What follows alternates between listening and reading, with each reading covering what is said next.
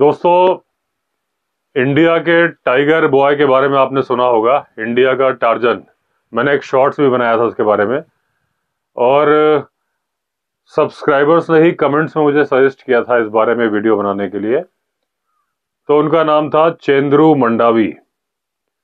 और 1959 में उस टाइम का मध्य प्रदेश का रीजन था छत्तीसगढ़। और उसमें गढ़ बंगाल इलाका था, नारायणपुर के पास में। जो कि जगदलपुर, जो डिस्ट्रिक्ट हेडक्वार्टर होता था, वैसे बस्तर संभाग का नाम था, उससे 90 किलोमीटर की दूरी पर था। वहाँ पर बड़ी फ़ेमस ट्राइब है, आपने शायद नाम सुना होगा, मुरिया जनजाति। अगर आपने कभी घोटुल का नाम सुना होगा, क्योंकि हमारे तो कोर्स में भी था बचपन में तो घोटुल मुरिया जनजाति में ही होता है। एक तरह से क्लब होता है, और जहाँ गाँव के बच्चे या बड़े जो जवान होते हैं वो लड़के लड़कियाँ डांस भी करते हैं, अपना गेम्स भी खेलते हैं। तो इस स्टोरी में भी घोटुल आएगा।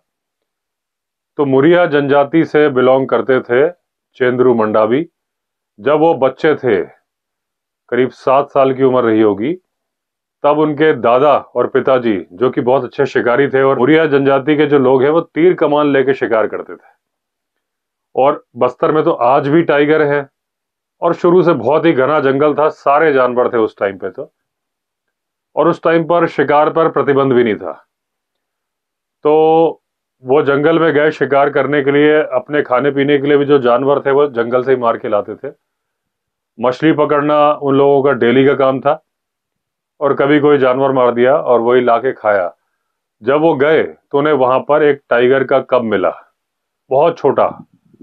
कैसे मिला, ये तो किसी को नहीं मालूम। वो उसको टोकरी में बंद करके घर ले आए। और चेंद्रू घर में खेल रहा था, बच्चा। तो उन्होंने बोला, देखो, तुम्हारे लिए हम क्या गिफ्ट लाए हैं? या तोहफा लाए हैं? या उपहार लाए हैं?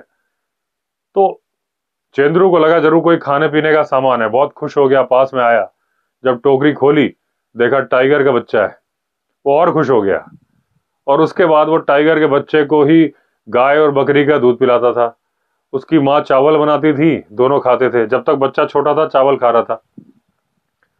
वो खेलने लगे और चेंद्रू के जितने दोस्त थे, वो भी खेलते थे उसके साथ में। और अब जब वो बड़ा होने लगा, बच्चा, कब? तो उसका चावल से तो काम चलने वाला नहीं था, दूध और चावल से। तो फिर वो मछली पकड़ने जाने लगा। नदी में जाता था, वहाँ मछली पकड़ता था और वहीं खुद भी नहाते थे, इसके दोस्त भी चेंदरू के जाते थे, नहाते थे। और वहीं से मछली पकड़ता था घर में लेके आता था और इसकी मम्मी मछली चावल बनाती थी। फिर ये आ, इसका टाइगर का नाम रखा था उसने तेंबू। तो चेंदरू भी खाता था तेंबू भी खाता था उसके बाद तेंबू तो सो जाता था जैसे ही उसका पेट भरा वो सो जाता था। और चेंदरू अपने दादा से कहानियाँ सुनता था कहानी सुनते सुनते सोता था। और बड़ा होने लगा अच्छा जब इधर एक साल बीत गया चेंद्रू आठ साल का हो गया लेकिन एक साल में टाइगर का बच्चा काफ़ी बड़ा लगने लगता है। मैंने भी कई बार बताया कि हमारे जंगली रिजॉर्ट के पास में भी सात आठ महीने का टाइगर का बच्चा आया था। उसकी जो ग्राउल थी काफ़ी हद तक बड़े टाइगर जैसी थी। तो एक साल का जब टाइगर हो गया, देखने में बड़ा लगने लगा। तो अब जो भी देखे, बड़ी खबर जाने लगी। जब तक बच्चा खेल रहा है, तब तक तो चलता है। लेकिन जब बड़ा टाइगर हो तो लोगों को लगता है, भाई, बड़े टाइगर के साथ इंसान का बच्चा खेल रहा है। तो ये खबर धीरे धीरे बाहर फैलने लगी। छत्तीसगढ़ के रीजन से निकल के मध्य प्रदेश, भोपाल, दिल्ली करते करते स्वीडन पहुँच गई। वहाँ भी उन लोगों को मालूम चला कि इंडिया के अंदर एक बच्चा ऐसा है जो बड़े टाइगर के साथ खेलता है। इन बिटवीन जब ये जंगल जाते थे खेलने तो ये भी साथ में जाता था टाइगर और कई बार इनको तेंदुए के बच्चे मिल जाते थे। तो उनके साथ भी खेलते थे, वहीं छोड़ देते थे। घर लेके नहीं आते थे कि आसपास की माँ अगर कहीं शिकार करने गई हो। जंगल तो इन लोग के लिए पैदा ही जंगल में हुए थे। जंगल में ना कोई डर था, ना कुछ था। अब एक दिन चेंद्रू अचानक खेल रहा था। देखा तो बहुत सारी गाड़ियाँ आके रुकी, उसमें बहुत सारे गोरे लोग थे, बहुत सारी मशीनें थी। वो चौंक गया, ये क्या हो गया? मालूम चला कि वो फ़िल्म बनाने आए हैं और चेंद्रू की कहानी के ऊपर। फिर वो वहीं रहे। उन्होंने 90 मिनट की फ़िल्म बनाई। स्वीडन के डायरेक्टर थे। वो और उनकी वाइफ दोनों आए थे। और उस फ़िल्म का नाम था जंगल सागा। उस फ़िल्म को ऑस्कर अवार्ड भी मिला। अब जब फ़िल्म बन रही थी तो चेंद्रू को मिलती थी दिहाड़ी दो रुपए पर डे। चेंद्रू बड़ा खुश था, दो रुपए बहुत बड़ी चीज़ थी और चेंद्रू के लिए तो कुछ ज़्यादा ही बड़ी थी। उसके बाद जब फ़िल्म बन गई, फ़िल्म ने बड़ा अच्छा काम किया, बहुत पसंद की गई। जब पसंद की गई तो डायरेक्टर को लगा कि लोगों को हम चेंद्रू से मिलवाए। तो वो आए इंडिया से चेंद्रू को स्वीडन ले गए। चेंद्रू एक साल तक वहाँ रहा। उसको बड़ा अच्छा लगा। वेस्टर्न दुनिया जो चेंद्रू जंगल में पैदा हुआ था, जंगल से बाहर निकला ही नहीं। उसको लगा कि भाई ये क्या दुनिया है? बड़ा अच्छा लगने लगा। वहाँ के लोग उसको ब्लैक हीरो कह के बुलाते थे। बड़ी बड़ी प्रेस कॉन्फ्रेंस भी होती थी। अब प्रेस कॉन्फ्रेंस में चेंद्रू तो पहली बात तो इंग्लिश नहीं बोल सकता था, वहाँ तो स्वीडिश बोलनी थी। तो दुभाषीय की मदद से जो वो बोलते थे, वो इसको इसकी भाषा में चेंद्रू को समझाया जाता था। फिर जो चेंद्रू बोलता था, वो उनको समझाया था। चेंद्रू को बड़ा मज़ा आ रहा था। वहाँ घूमने में और वो जो डायरेक्टर का घर था, वो भी जंगल में ही था। तो चेंद्रू को और अच्छा लग रहा था क्योंकि जंगल में पला बड़ा चेंद्रू स्वीडन में भी जंगल में ही रह रहा था। और उन डायरेक्टर ने कुछ जानवर वगैरह भी पाले थे। ये सब चेंद्रू ने बाद में बताया, जब चंद्रू का बुढ़ापा आ गया, कि डायरेक्टर ने जानवर भी पाले थे, उनका ख्याल रखते थे और बड़ा अच्छे से उनकी वाइफ भी चेंद्रू का ख्याल रखती थी। एक साल चंद्रू वहाँ पे रहा। उसके बाद समुद्र के रास्ते थे शिप में बैठ के इंडिया आया। तो जब इंडिया आया तो मुंबई पोर्ट पे आया और मुंबई में होटल में रुका तो मालूम चला कि नेहरू जी जो प्राइम मिनिस्टर हैं वो मिलना चाहते हैं। तो वो मिले तो उन्होंने भी बोला कि तुम्हारा बहुत नाम सुना है तुमने बहुत अच्छा काम किया कि तुमने एक तो टाइगर के बच्चे की जान बचाई और जब वो टाइगर का बच्चा बड़ा हो गया तब भी डर नहीं लगता था, चेंद्रू को भी कुछ नहीं बोलता था, चेंद्रू के दोस्तों को भी कुछ नहीं बोलता था। जब ये लोग नहलाते थे तो चेंद्रू के दोस्त भी नहलाते थे उसको, चेंद्रू मछली पकड़ रहा होता था और उसके दोस्त ही टाइगर को नहला रहे होते थे। कुछ दोस्तों ने बताया कि इवन डॉगी की तरह टाइगर आगे आगे चलता था, दोस्त पीछे चल रहे होते थे। ऐसे वो गाँव की गलियों में, जो जंगल के अंदर उनका गाँव था। तो नेहरू जी ने बोला कि तुमने बहुत अच्छा काम किया, तुम्हारा बहुत नाम सुना है। तो तुम एक काम करो, पढ़ाई कर लो, फिर तुमको कहीं सरकारी नौकरी में लगा देंगे। तो उसने बोला, ठीक है। फिर वो अपने घर जिसके साथ भी आया था, अपने घर चला गया। जब घर में अपने पापा को बताया कि ऐसे ऐसे मंत्री जी ने उसको नहीं मालूम था प्रधानमंत्री क्या होते कि मंत्री जी ने ऐसा बोला है कि तुम पढ़ लिख जाओ, फिर तुमको नौकरी में लगा देंगे। तो उसके पापा बोले, नहीं, अगर तुम अभी एक साल बाहर रह के आए हो, अगर तुम ही बाहर चले जाओगे तो हमारे घर में कौन रहेगा? कोई ज़रूरत नहीं पढ़ने लिखने की। तो उसने कहा, ठीक है, फिर वो अपना काम में ऐसे लग गया। तो अपना शिकार करता और उसके बाद में खेलता तेंबू के साथ। अब एक दिन तेंबू की डेथ हो गई। कैसे हुई, ये नहीं मालूम। लेकिन जब डेथ हो गई तो वो टूट गया। चेंद्रू बहुत दुखी हुआ क्योंकि उसका खास दोस्त था वो। लेकिन धीरे धीरे संभल गया। अब वो दुनियादारी में, पहले तो उसकी ज़िंदगी ही तेंबू थी। सुबह से शाम तक बस तेंबू के साथ खेलना, उसके साथ शिकार पे जाना, अपना मछली पकड़ना, या कुछ तीर कमान से शिकार कर लेना। फिर वो घोटुल की जो बात मैंने आपको बताई थी तो घोटुल क्या होता है? मुरिया जनजाति का क्लब समझ लीजिए।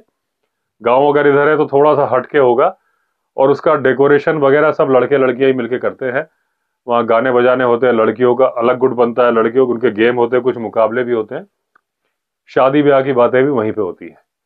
और वहाँ पे जो बड़े हैं, उनका जाना अलाउड नहीं है। घोटुल के अंदर जो किशोर अवस्था टीन एज के बच्चे जा सकते हैं, बड़े नहीं जा सकते अलाउड ही नहीं होते। आप एक बार घोटुल गूगल कर लेना, पूरी जानकारी मिल जाएगी। अगर मैं पूरी जानकारी दूँगा तो टॉपिक से हट जाऊँगा। तो वहाँ पे घोटुल में उसने एक लड़की पसंद कर ली, उससे शादी कर ली। अब वो अपनी जो गृहस्थ जीवन है वो बिताने लगा। और उसके बाद में उसका एक बेटा भी हुआ। लेकिन बार बार उसको अपने बचपन के वो दिन और स्वीडन में बिताए वो दिन याद आते थे। यहाँ तो जो शूटिंग चल रही थी वो खेल था उसके लिए। क्योंकि वो उसकी ही लाइफ थी, बस उसको तो पता ही नहीं भाई कैमरा ऑन है क्या, जो बताया जाता था वैसा कर देता था। दो रुपए मिल रहे थे, बहुत बड़ी बात थी। लेकिन जब स्वीडन गया तो वहाँ तो दुनिया ही चेंज हो गई। तो जब शादी कर ली तो बार बार उसको वो याद आता था चंद्रू को, जो उसने बचपन में किया था। जब वो बड़ा हो गया, अब आर्थिक संकट भी आ गया, क्योंकि कमाई कुछ हो नहीं रही थी। वो जो शराब थी, जो बता रहा था मैं, उसको वो बोलते हैं सल्फी। वो पेड़ में छेद करके और उसके नीचे एक छोटी सी मटकी बाँध दी जाती है और उस पेड़ से जो रस निकलता रहता है, रात भर में निकलता है, सुबह इकट्ठा कर लेते हैं, वो पीते हैं। मतलब फर्मेंटेड नहीं होती तो बहुत ज़्यादा नशा नहीं होता, लेकिन वो एक रेगुलर ड्रिंक है, जैसे हमारे यहाँ चाय होता है, वैसे उनका रेगुलर ड्रिंक था। तो बस सल्फी पीना, मछली पकड़ना, जो थोड़ी बहुत फ़सल इधर उधर उगी, और शिकार करना। पैसे तो मिलने वाले नहीं थे। जब पैसे नहीं मिले तो लाइफ बड़ी दिक्कत में आने लगी, और उसको पुरानी यादें भी आती थी। तो वो अपने बेटे को लेके जाता था। देखो, बेटा भी उसका जब पंद्रह सोलह साल का हो गया, जवान सा होने लगा था। देखो, यहाँ पे हमने शूटिंग करी थी, यहाँ शूटिंग करी थी। अच्छा उसकी वाइफ को पता ही नहीं था ये शूटिंग क्या है और ये हीरो रहा है हॉलीवुड में, क्योंकि उसके गाँव में किसी ने फ़िल्म देखी नहीं थी। तो वाइफ को बताया मैंने शूटिंग की, उसने कहा हाँ चलो, करी होगी। उसे क्या मालूम शूटिंग क्या थी? ये स्वीडन रह के आया था, तब भी वाइफ ने तो देखा नहीं था कि स्वीडन गया। तो अपने बच्चे को दिखाता था कि एक फ़िल्म बनी थी और वो हमने यहाँ पे शूट करी थी, यहाँ करी थी। फिर बहुत साल बाद जब चेंद्रू बूढ़ा हो गया साठ एक साल का हो गया। तब एक किसी ने गाँव में लाके वो मूवी चलाई, जिसमें चेंद्रू ने काम किया था। तो पूरा गाँव ने देखा मूवी, लेकिन चेंद्रू ने नहीं देखा। चेंद्रू दूर चला गया और एक कोने में बैठ के रोता रहा। उसने मूवी देखी नहीं, क्योंकि उसको अपनी पुरानी सुनहरी यादें। दोस्तों, हर आदमी के जीवन में गोल्डन पीरियड होता है। किसी का किसी एज में आता है, किसी का किसी किसी का लाइफ टाइम रहता है। लेकिन कई ऐसे हैं जहाँ तक मैंने सुना है के वाले हैं जो के जिन्होंने चालू किया था, वो पैंसठ, सत्तर साल की उम्र तक धक्के ही खाते रहते पूरी लाइफ और उसके बाद वो अरबपति बन गए थे। तो चेंद्रू की लाइफ का गोल्डन पीरियड था जो उसने जो अपनी ज़िंदगी जी ली थी, वो थी बचपन में ही, आठ, नौ, दस साल की उम्र में ही। उसके बाद की पूरी लाइफ बहुत ही तकलीफ़ भरी रही। फिर पैसे ही नहीं थे, फिर जहाँ भी किसी से मदद मांगो तो उसको पैसे मिलते नहीं थे। मतलब बहुत ही तंग हाल ज़िंदगी जी रहा था चंद्रू। और उसके बाद फिर चंद्रू को तरह तरह की बीमारियाँ लग गई। अब इलाज के पैसे नहीं थे तो वो जो गाँव में झाड़ फूक करते हैं, उनसे तो ऐसे ही चल जाता है थोड़ा चावल दे दिया तो काम हो जाता है पैसे की ज़रूरत नहीं होती। उनसे अपना इलाज कराता था। फिर पैरालिटिक स्ट्रोक आ गया। फिर भी कोई इलाज नहीं मिला। चेंद्रू के दोस्त थे यशवंत राम टेके उन्होंने सोशल मीडिया में बहुत कैंपेन चलाया कि चेंद्रू की मदद करो। ये बात है 2013 की। क्योंकि चेंद्रू की डेथ हुई थी 18 सितंबर 2013 को।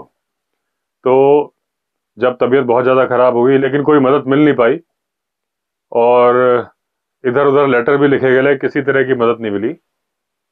और इन बिटवीन जो डायरेक्टर थे, जिन्होंने फ़िल्म बनाई थी, उनकी वाइफ ने भी एक, वो फोटोग्राफर थी बहुत अच्छी तो उन्होंने जो फ़ोटो खींचे थे चेंद्रू के तो उन्होंने एक बुक लिखी, चेंद्रू एंड टाइगर।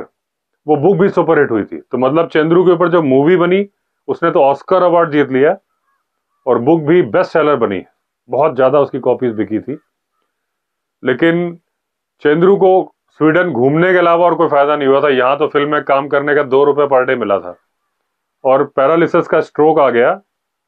उसके बाद चंद्रू का जीना दुभर हो गया, चलना फिरना मुश्किल हो गया। और फिर 18 सितंबर 2013 को चंद्रू की डेथ हो गई।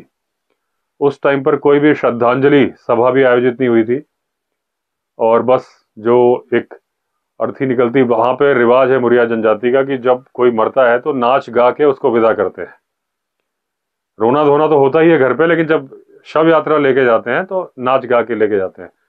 पचास के आसपास जब उनका जन्म हुआ तो फिर 2013 में मेरे ख्याल से 63 ही रहे होंगे। तो उस एज में उनकी डेथ हुई और सारे लोग फिर उस टाइम भूल गए। बाद में छत्तीसगढ़ सरकार ने टाइगर के साथ खेलते हुए एक मूर्ति स्थापित की और फिर कई सभाएँ वगैरह हुई। ये ये बात मेरे ख्याल से 2022 के आसपास हुआ, ये जो किया। तो इतना फ़ेमस चेंद्रू मंडावी, पूरा नाम था चेंद्रू राम मंडावी, जो कि बचपन में जिसने टाइगर के साथ खेला, जंगल में जो लोग कई देशों में पालतू, अमेरिका में चार पाँच हज़ार टाइगर पालतू हैं। लेकिन वो घरों में है फार्म हाउसेस में है। ये नेचुरल फॉरेस्ट में टाइगर को लेके जाता था, जहाँ उसके भाई बंधु टाइगर के थे, वो जहाँ सारे जानवर घूम रहे हैं। तो नेचुरल जंगल में जाके फिर वापस आना, और जंगल में ही घर था। टाइगर के साथ खेलना इतना फ़ेमस ऑस्कर अवार्ड जीता। लेकिन उस टाइम पे फेम मिला बचपन में, बाद में पूरी लाइफ उन बातों को याद करते करते रोते रोते ही बीत गई चेंद्रू राम मंडावी की। तो दोस्तों, ये थी जानकारी चेंद्रू राम मंडावी के बारे में, जो आप लोगों में, जो आप लोगों ने कमेंट सेक्शन में लिखा था कि उस बारे में जानकारी दो। तो जितनी जानकारी मुझे मिली, वो मैंने आपको दी। चलिए दोस्तों, अगर आपने चैनल सब्सक्राइब नहीं किया है तो चैनल सब्सक्राइब कर लीजिए। फिर मिलेंगे अगले वीडियो में। तब तक के लिए all the best Vande Mataram.